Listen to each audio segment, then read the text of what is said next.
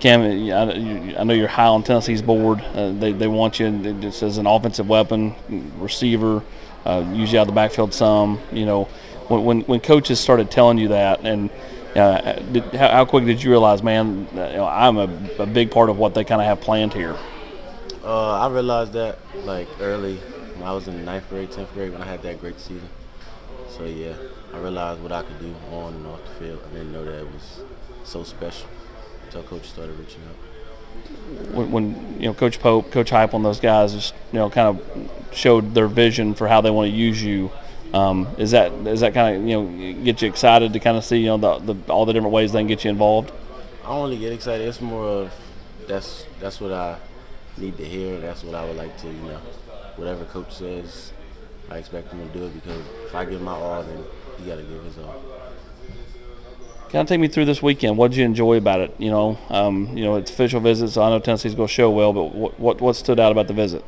Um, I enjoyed the people. You know, it was real cool. It was fun. What do you like about you know Coach Pope? You know, I know he's been recruiting you for a while. Coach Pope, he real laid back. You know, he don't say too much. He do what he got to do do what he need to do. So yeah, really cool. What's that relationship like? Uh, what do you mean? Well, just I mean, like just you know, your conversations with him. Is it more about life? Is it sometimes about life, sometimes about football? What, what's that relationship like? Um, it's normal conversation. It's not like football this, football that. It's just you know communicating. What about Coach Heupel? What was that meeting like this weekend? Kind of what was his message to you?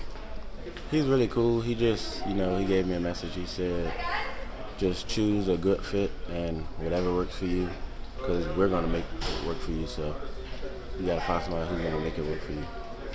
What what was kind of their vision for how to use you? I mean, what you know when they when they kind of worked, you know, went through things, kind of what what did they showcase? Um, they showed me ways they could get me the ball in space, you know, vertical, you know, um, bubble screens and getting jet sweeps, backfield, things of that nature. Kind of take me through your, your role as a receiver. What do you feel like sets you apart, and, and you know how much better do you think you can be?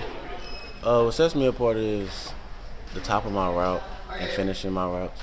Um, I'm good off the line, but my breaks, getting out of my breaks is the I feel is my best.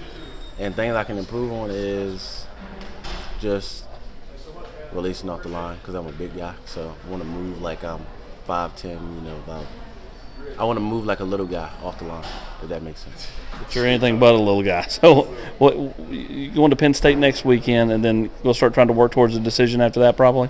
Yes, sir. When you when you start thinking about a decision, what what would be the key parts? What, what are the key components? What are you looking for, um, and and who will kind of be you know helping you with the decision? Um, the key parts is what they recruit me as, how they come off, just being around everybody and their families, see how the vibe is. How, how do you feel like Tennessee did this weekend in that regard? They did good. It was cool.